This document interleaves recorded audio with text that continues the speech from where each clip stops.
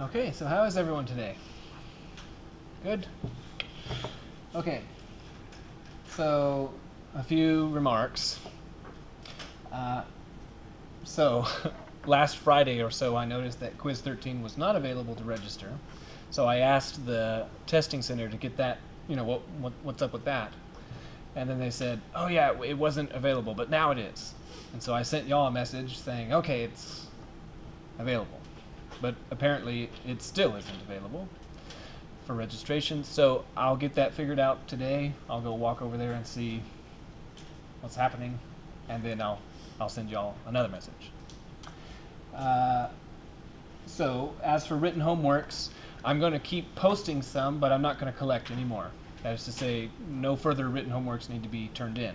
Now, that please don't interpret that as license just to ignore the rest of them, because there's going to be material on the exam that more or less is just like them.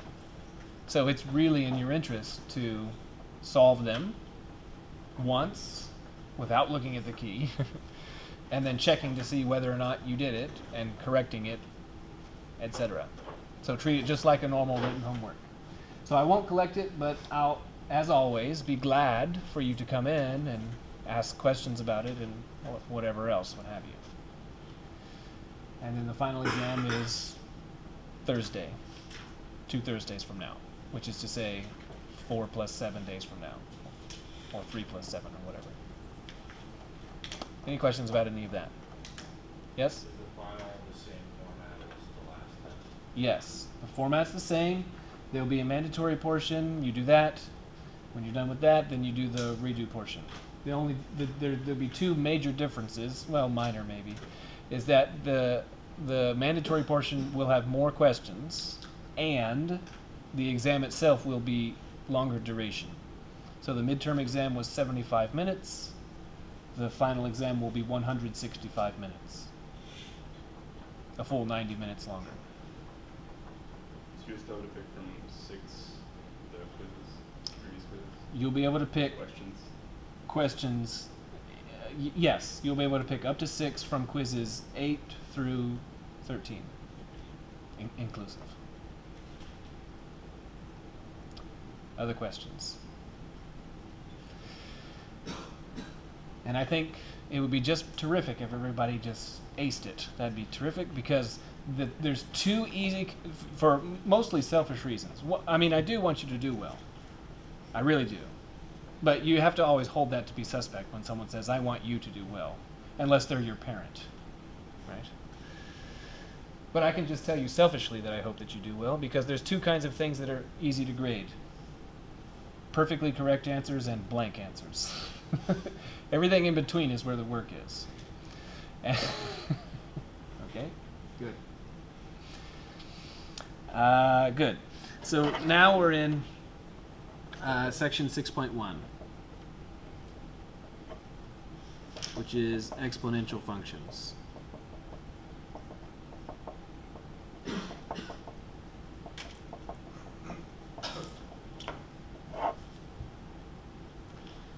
Uh, so, start out with definition. So expressions of the form expressions of the form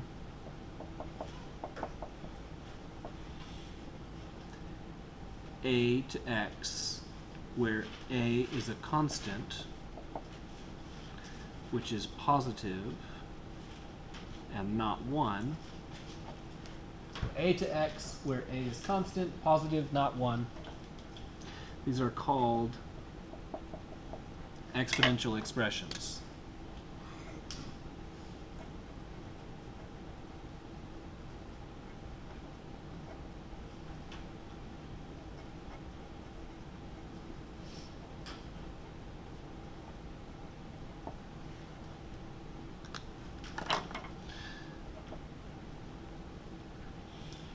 Two,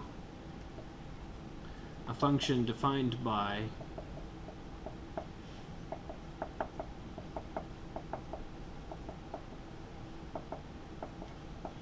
an exponential expression is called an exponential function.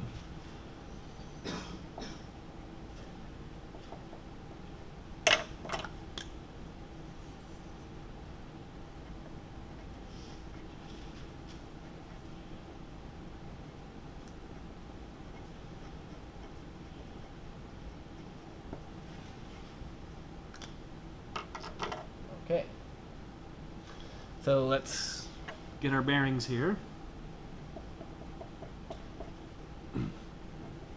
So how about f of x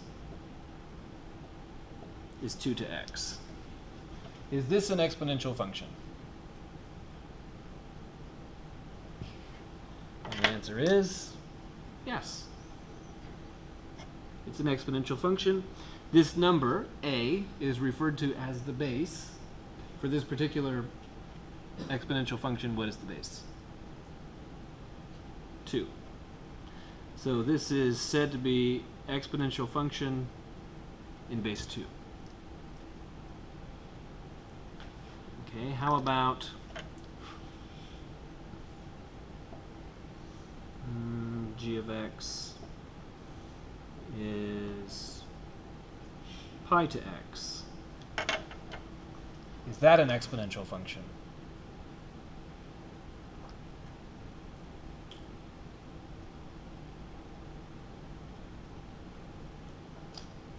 So there's just three requirements on the base. And these are the requirements. What are the requirements? Constant, positive, not 1. Is it an exponential function? Yes. And it has base pi.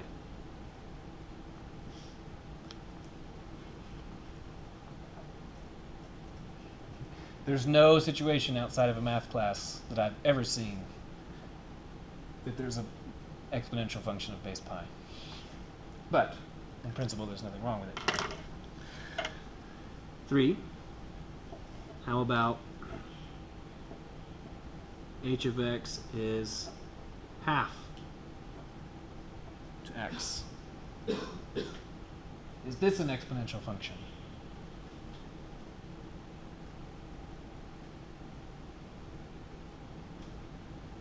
So if it is, you should be able to tell me the base and, and tell me that it satisfies the three requirements for a base. So, what's its base? Half. Does half satisfy those three requirements? Yeah. Is half constant? Sure is, right? Is it positive? Yeah. Is it not one? Yeah.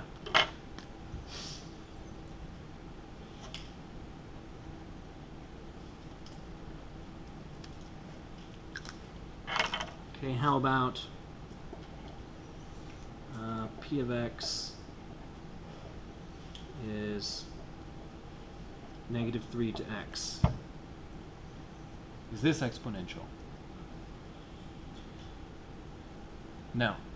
Why not? Well, the base is a constant. And the base isn't 1. Ah, but it's not positive, right? So no, not that one.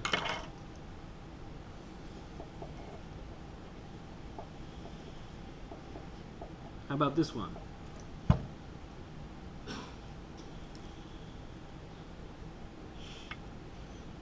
No, it's not, because one is not a legitimate base for an exponential. The reason why is because well, in the end, it has to do with just the definition. But the reason the reason why is that you want uh, exponential functions to be invertible. We want them to be invertible functions eventually, which means that they have to be one to one. So how about how about this this uh, this function right here, as it's written? What do you what do you get if you plug in three? One. What do you get if you plug in 33? Also 1. So this function is, is not injective. It's not one to one. So this is not an exponential function. How about this one? P, Q, R, about S uh, is this.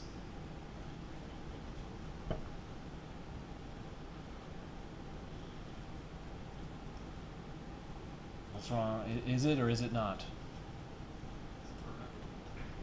Yeah, for one for one thing, it's a quadratic. It's the standard quadratic. But what's so the base, if anything, is what?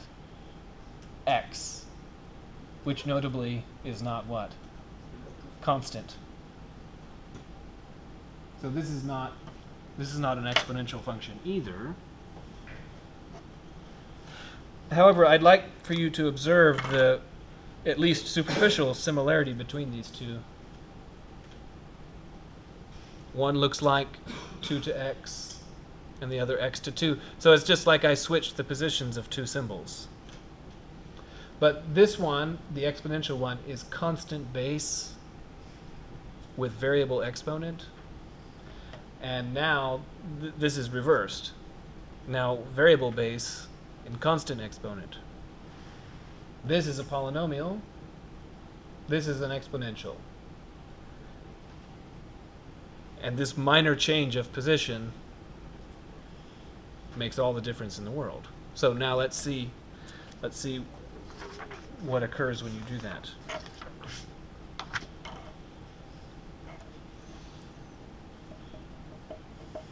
So let's say let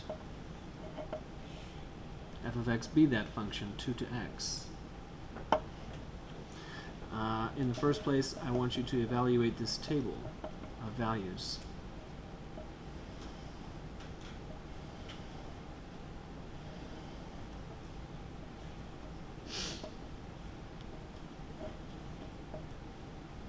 Negative 3, negative 2, negative 1, 0, 1,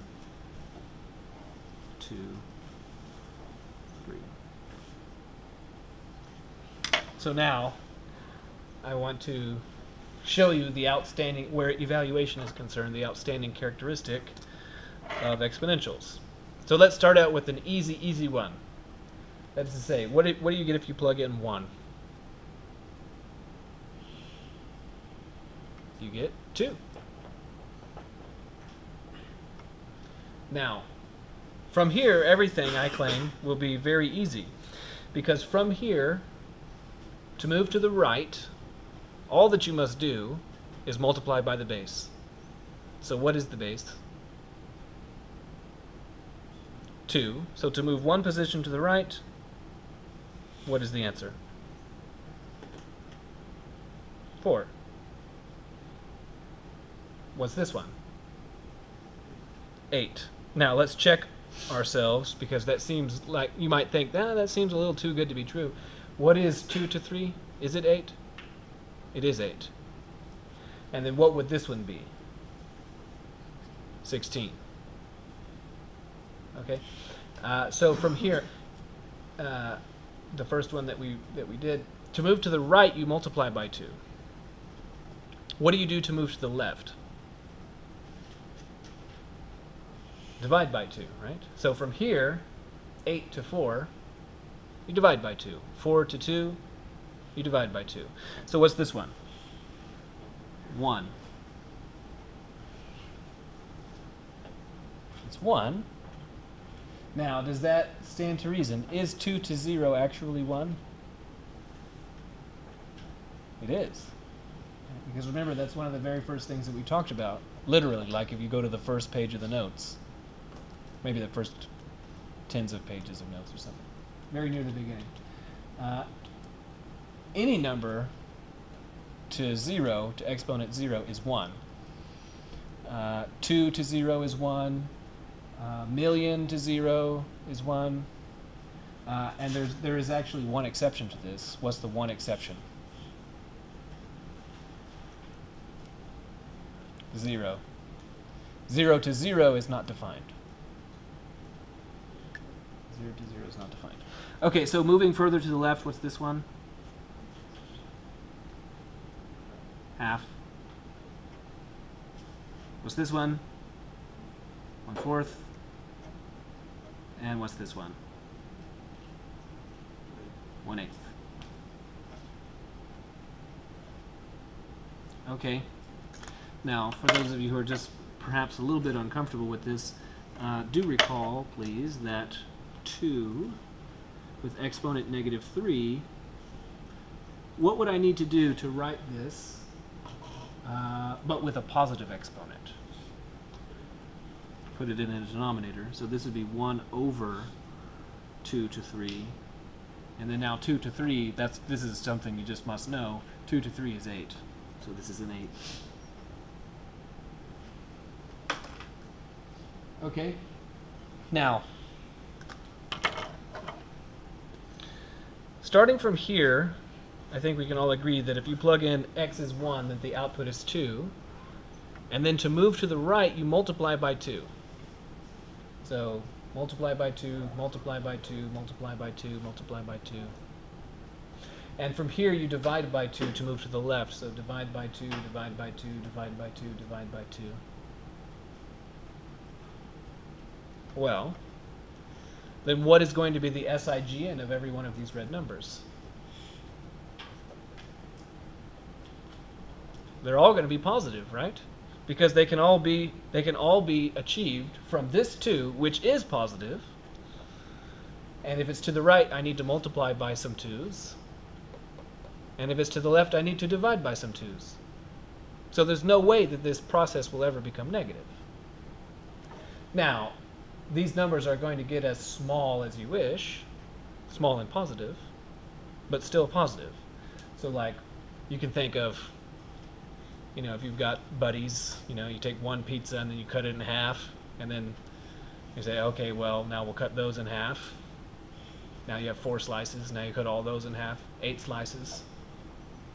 And no matter how many times you cut all of them in half, they still have a positive size, right? Ignoring when you get to atoms, I suppose. Eventually, it's not pizza anymore. Okay, but all of these are all positive. So these are all positive. So let's plot.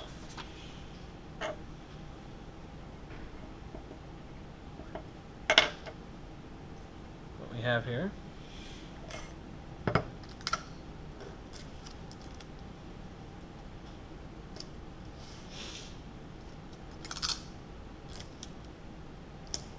Now, normally I take these to be integer values, but the exponential grows quite quick, so I'll take the halves to be the integers. So when you input 0, the output is 1. And then now every time I move to the right, one unit, I double the height. So output 2, output 4, output 8, and then the next one would be output 16, which is already well off. It's way up here, even off the, the thing already. Okay, then from here, moving to the left, what do I do with the output?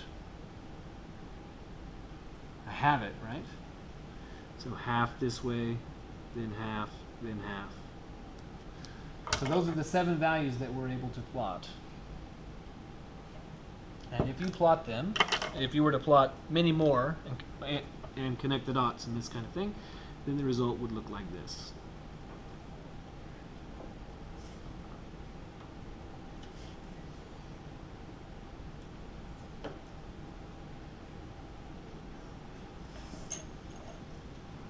So that's, you can see it getting arbitrarily small, but positive right there. And then on the right side, it's getting big quite quickly. Any question about this one? So notably, this could not possibly be the plot of a polynomial, even ignoring the fact that we know it's not. Just looking at the plot, it couldn't possibly be the plot of a polynomial. Why not?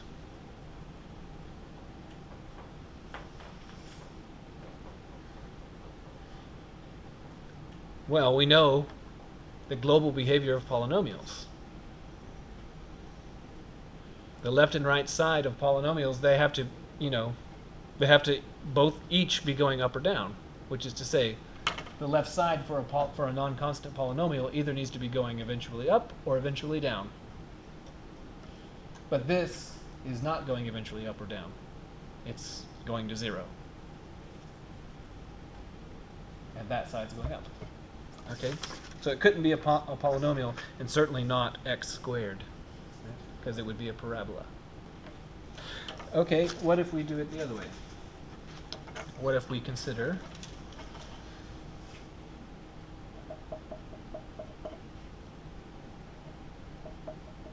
say let h of x be half to x.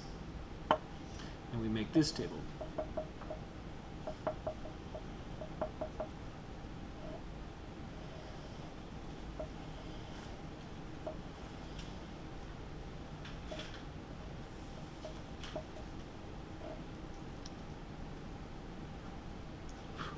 So negative 3, negative 2, negative 1, 0, 1, 2, 3. And again, same trick really. Is that it's quite easy to plug in 1. What do you get if you plug in 1? Half. And then, every time you move to the right, you multiply by the base.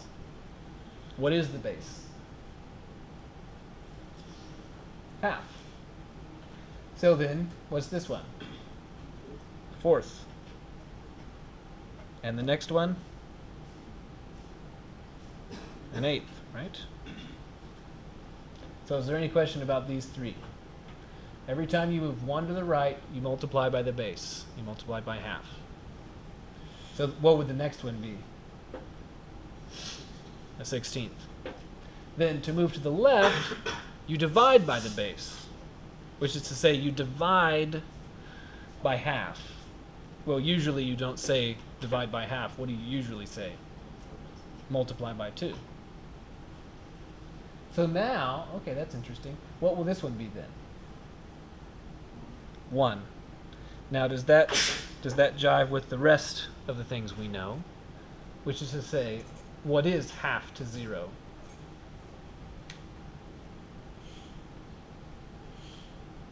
It's 1, right? Because anything that's not 0 raised to exponent 0 is 1. So in particular, half to 0 is 1. Okay, what's this? 2. What's this one? 4. And this one? 8.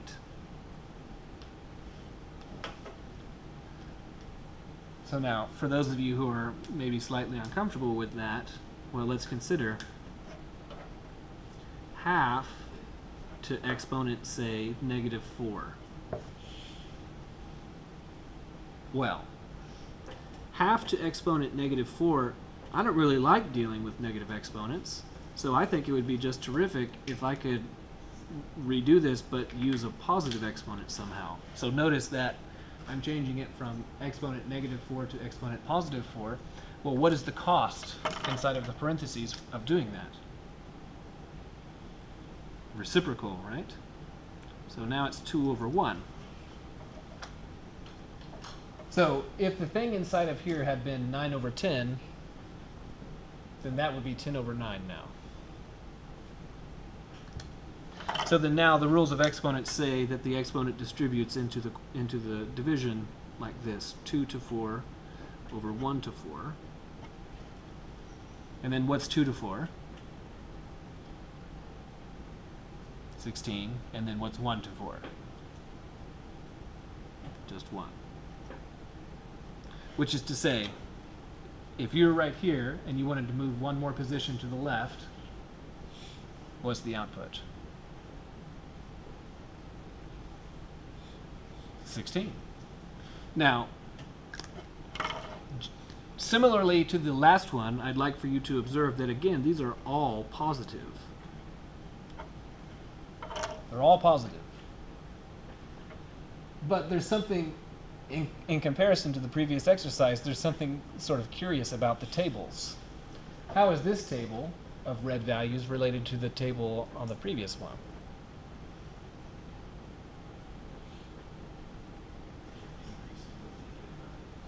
Mm-hmm. So notably, this is the this is what we did first, and here's what we're doing now. There, this this one is the same as the first one, but backwards. That is to say, this one has an 8 all the way to the right, but this one, the 8 is all the way to the left. And then you read, you read them backwards. So these tables are backwards. How will the pictures look? Reflected, right? You'll take this one and do it. So let's let's check that. Let's plot it now.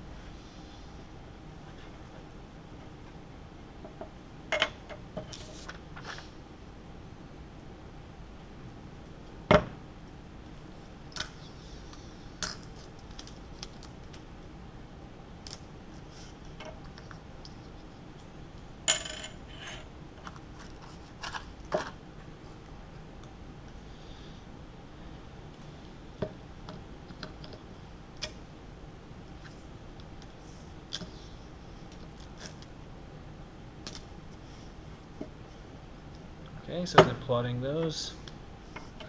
All exponentials go through this. When you input 0, you output 1.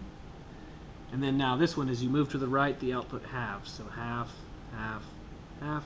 You move to the left, the output doubles. So 2, 4, 8. So those are the seven points we were able to plot. And then connecting the dots. The result looks like this.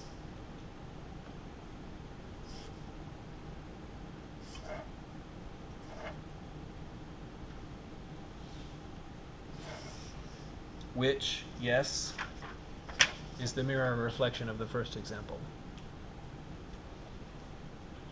Any question about these?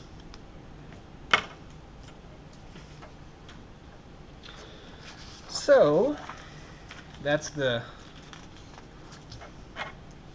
the motivation for the following remark, and that is that suppose we have any exponential. Let f of x be a to x with a as constant, positive, and not 1. Then there's really just two kinds of, of possibilities. Exponentials that look like this, and exponentials that look like under this. So I'm going to draw two possibilities. Uh, in either case, when you input 0 to an exponential, what is the output?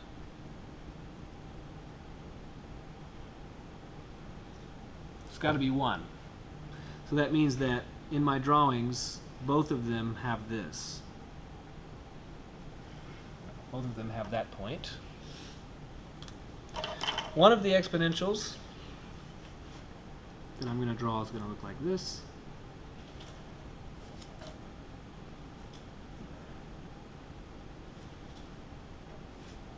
And the other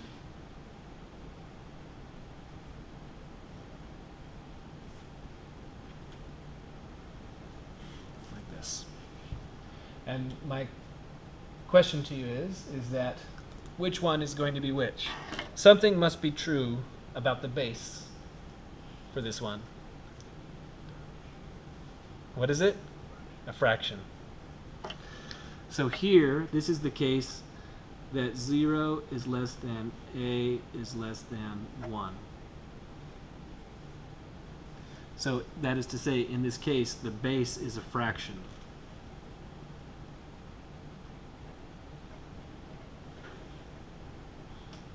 Well, I hope that you can see that that kind of makes sense, because if the base is between 0 and 1, and moving to the right is equivalent to multiplying by the base, then that means that when you move to the right and you multiply by a, and a is between 0 and 1, you've got to get smaller. So that's why it's going down. With a, with a base that happens to be between 0 and 1. What must be true about this one? Greater than 1.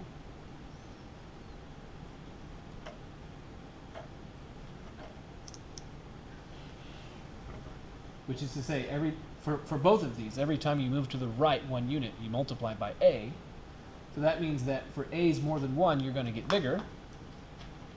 And for a's between 0 and 1, you're going to get smaller. So, now, conversationally, when you talk about these, this is called, this one is called exponential decay.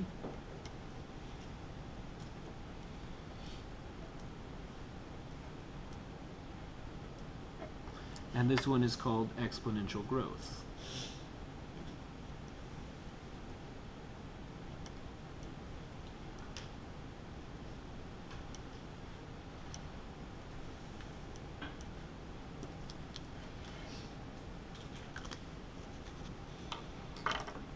Okay. These two situations occur uh, quite frequently in nature, at least for short amounts of time, uh, because in nature, very often, uh, the way a system changes in time is proportional to its current size. The, the sort of standard example for exponential decay is something called radioactive decay. So, on the table of elements, there's an element called carbon. It's an important one. um, there's some carbon in you. In fact, there's a lot. Uh, every element on the on the periodic table is is uh, uniquely characterized by the number of protons. So, how many um, how many protons does carbon have?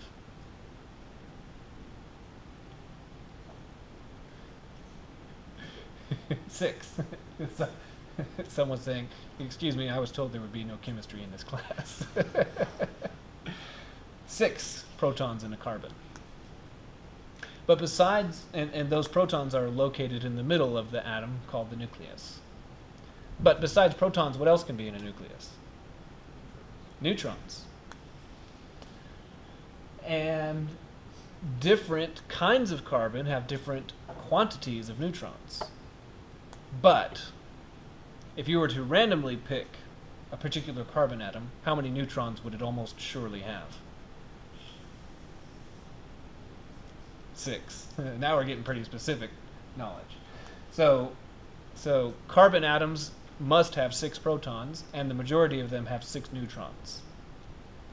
But there's a minority of them that have eight neutrons, and these are referred to as carbon 14 because 6 plus 8 is 14. So if you've heard of, car- of radioactive carbon dating, carbon 14 dating, that's what they're talking about. So you take atoms with differing number of neutrons, these are called isotopes. That's their name.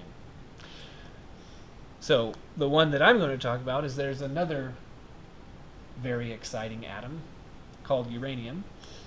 It has, I think, 92 protons, and it can have a wide variety of neutrons, actually.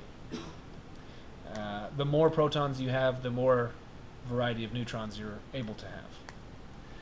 And there's one particular isotope of uranium that's particularly exciting called uranium-235 because it has I, I don't remember. I think uranium has 92 protons. It might it might be something else. But U-235 is just however many more neutrons you need so that 92 plus whatever is 235. Okay. So uranium-235 is exciting because, well, you can make nuclear weapons from it. that's that's probably the most outstanding reason why it's exciting. But another reason why it's exciting is that you can make power stations from it. Okay. At any rate, uranium-235 has the interesting property that after 100,000 years, a mass of it will have decayed by half. Half of it will be gone. So, if this was a one kilogram block of uranium 235, then in the first place, we would all probably die as a result of that being an exceptionally dangerous situation. But let's ignore that for a moment and say that um, we've got a block of U-235, one kilogram of it. Uh, after 100,000 years, half of it will be decayed. That is to say that this will still be a one kilogram block, but only half of it's going to be U-235. The rest of it's going to have decayed into other products, eventually ending in lead. So, after, if th- supposing that we start with with this one kilogram block. After 100,000 years or so, it's half a kilogram. How about after 200,000 years? One fourth. How about after 300,000 years?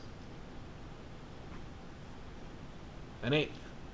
Right? Because every 100,000 years, it's halved. It's halved. That's why it's called a half life. So, uh, now, because because uranium 235 is known to decay to lead, that's how we can tell that the age of the Earth is about 4 billion years. Because you get uranium 235 floating around in the liquid rock, and then it solidifies. And once it solidifies, no more U235 can be put in it. In fact, everything is now still like a crystal. But nevertheless, those little uranium atoms, they still want to change into lead. So you can take a rock and you can measure it, and you can find the oldest rocks that we can find, and you measure the ratio of lead to U235, and you can observe that, ah, well, that means that the Earth is 4 billion years old. Pretty cool. So, radioactive decay is the standard science model for this one. Radioactive decay. The standard model for this one, for growth, probably I think, is uh, the best one is maybe bacteria. Uh, so there's a in biology for those of you who are taking or will take or have taken biology. Uh, there's such a thing called a petri dish, and more or less you can understand petri dish to be paradise for a bacterium which is to say it's the best possible situation that a bacterium could find itself in. It has lots of food and it has no predators. So if you take a petri dish prepared for a bacteria for, prepared for a bacterial colony and you put a single bacteria in the middle of the dish then this bacteria finds itself with no predators and ample food it will grow until it reaches a certain size, and then it will split into two bacteria. So one becomes two, and now there's two in the dish. And let's say that this process takes the bacteria exactly one hour, which, by the way, is not at all unreasonable for bacteria. So if we put one right in the middle, after one hour, there's two. How many are there after three hours? Eight. Okay. How many are there after uh, five hours?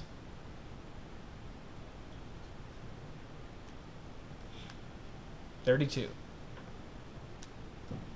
How many are there after mm, 32 hours? There's over 4 billion now. There's over 4 billion now. Now, I'd like to point out something and that is that how many hours are in a day? 24. And so that means that after 32 hours, which is less than a day and a half, the number of bacteria is now 4 billion times of whatever it was. Now we happen to start with 1. If we had started with 10, now there'd be 40 billion. Okay, so this is the reason why when you're driving on the highway and you see all the little critters that have gotten run over by cars, you never see one that's in good shape. Because besides having been splattered by the car, which is bad enough, if you don't get there within a day and a half, there's already 4 billion times as much bacteria on that creature as there was to begin with. Okay, so then every every animal, including human beings, we have bacteria all over us. And it and a significant amount of our energy expenditure is just to keep them from killing us, to keep them from growing. As soon as an animal expires, within a day and a half, there's literally billions times as many bacteria on that creature as possible, and they're eating it. Interesting, right? Or scary, you know, whatever you want to, however you want to reckon it. Okay, so bacterial growth. Now, because I'm a mathematician, I have to put caveats on this. which is to say that the radioactive decay model works quite good when there's several moles of the material at hand, which is to say there's lots and lots of such atoms. When you start getting few atoms, this is not a very good model anymore. And this is pretty good um, as long as there's plenty of food to eat, but you eventually run out of food, right? So then literally the bacteria will just like come up to the edge of the petri dish, and then and then it's not exponential anymore. Thank goodness, right? Because if it continued to be, then the whole Earth would be consumed by bacteria in a matter of minutes. Okay. Or at least at most days. Okay, so then now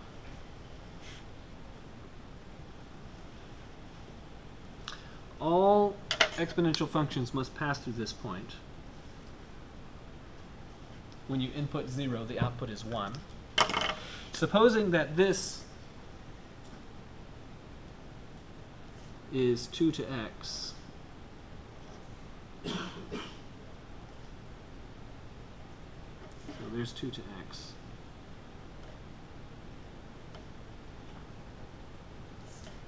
I have a question for you. How will 3 to x be situated with respect to 2 to x? For example, on the right side, how will 3 to x be in comparison to 2 to x?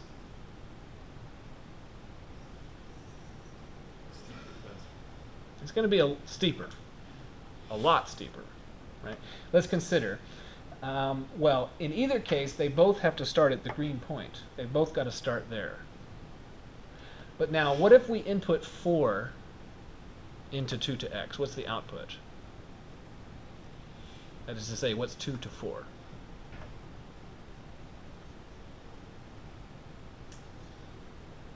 Sixteen. Well, what about 3 to x? What if you input a 4? 81. So already, for 3 to x, at input 4, you're already at 81. And if we were dealing with the exponential 10 to x, at input 4, you're already at 10,000. It's going up. it's going up quick. So like this. Quite quick.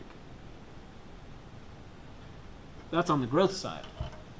But on the decay side, how is the green going to be situ situated with respect to the red? It's going to get smaller faster. So it's over on the growth side and under on the decay side.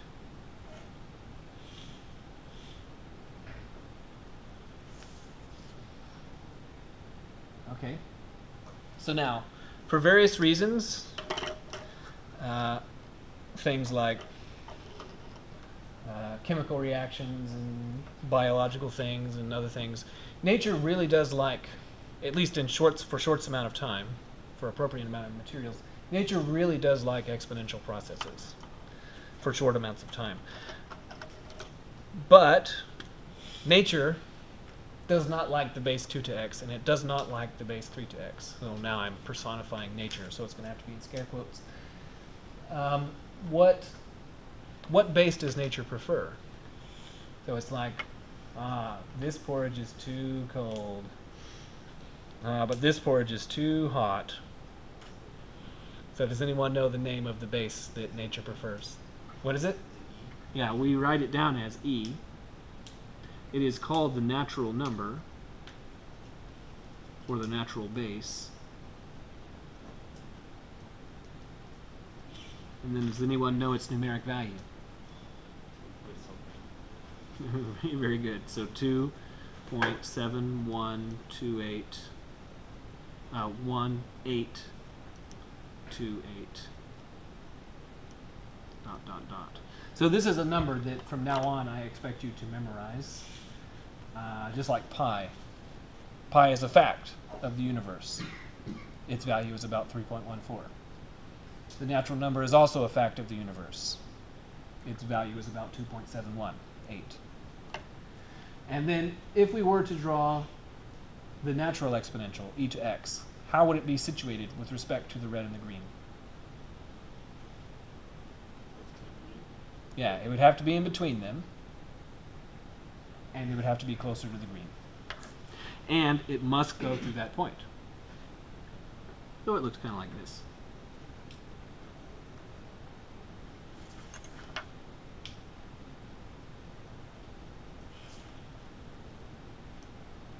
That's the base that nature prefers. Now, that's kind of a big claim to say that nature, scare quote, nature prefers something, so now I've got to justify that claim. Now, uh, one thing that I'll say, just for those of you who are going to go on to take calculus, well, really for everyone, because it's, because it's interesting, but this will be especially important to those of you who take calculus. All of these exponentials go through that point. They all do.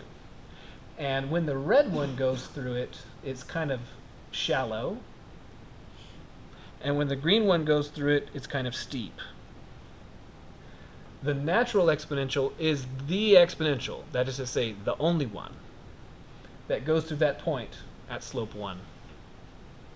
So the red one is going through it at slope less than 1. The green one is going through it at slope more than 1. The blue one, the natural way, is to go through it with slope 1. And in the end, that's the you could think of that as the main reason why nature prefers this. Okay. Good. So now I need to justify why why do we call this the natural base? Okay. Well, so now I'm going to talk about something and it's going to seem a little non sequitur, which is to say, how did we get on this topic? Okay. So this topic is called is about simple interest. That is to say, we're talking about money now. So everybody has surely heard about money, and probably heard something or other about interest. So interest is where there's sort of two main situations where you find yourself having to deal with it. Is that one of the cases is that if you have a checking account or a savings account, you put money in, and the bank says, okay, we're going to give you some money for putting money in our bank. Is that because they just think you're a terrific person? They love you? I mean, what's going on there? yeah. So, and then the other situation is that where you say, well, I'd like to go to UTD Bank. Would you give me a bunch of money? And they'll say, yeah, I'll give you some money, but you're going to pay for it, right? And that that exchange is is called interest. So let's look at it from the positive point of view. That is to say that you've deposited some money. So when you when you start a bank account, you actually enter into a contract with the bank. It's a legal contract, and what it is is you're saying, "Okay, bank, I'm going to give you my money. I want you to hold it." And the bank says, "Terrific. I'm going to hold it, and I'm going to do whatever I want with it, um, as long as I have it." And then when you ask me for it, I have to return it back to you within this amount of time and according to these parameters. So do understand that when you put your money in a bank, they are not required to, to return it to you immediately. They're only retired, re, re, uh, required to return it to you according to certain rules, which, which culminate in, in more or less quickly, but not immediately. So what the bank is doing is they're using your money and they're making money with it. And let's say that the, that the bank is able to make 8%. For somehow they're holding your money and, and through some magical process they make 8%. And if you have a if you have a one and a quarter interest account, well that means that you're getting one and a quarter. That's your cut. That's how much the bank is sharing with you the profits of, of holding your money. The bank is taking the bank is taking six and, and three quarters percent and giving you one and a quarter. That's what interest is. And the other point, and the other way around, that's that's where you say, uh, "Hey, bank, I see that you have billions of dollars just sitting there in a big mountain. I'd like twenty thousand of it so I could go to UTD or whatever." And the bank says, "Terrific, yeah, but when when I give you that twenty thousand dollars, that means that I can't use it. So I'm I'm turning over control of that money to you. And that's worth something. So you're going to pay me for that. and what the bank's actually doing is they're not actually giving you their $20,000, they're giving you that person's $20,000. okay? That's what's really happening. So that's what interest is. So if, if nothing else, of the small number of things that I could have e- every student learn in college algebra, this is one of them. What interest is, is it's a contractual agreement over control over a resource. Is the bank says, yeah, I'll give you 20,000, but you, it's going to cost you. or, yes, we'll hold your $20,000 and we'll give you a cut of how much we're charging that person for holding your 20,000. okay. So, that being said, we're out of time. So, we'll continue this on Wednesday. Have a nice Monday.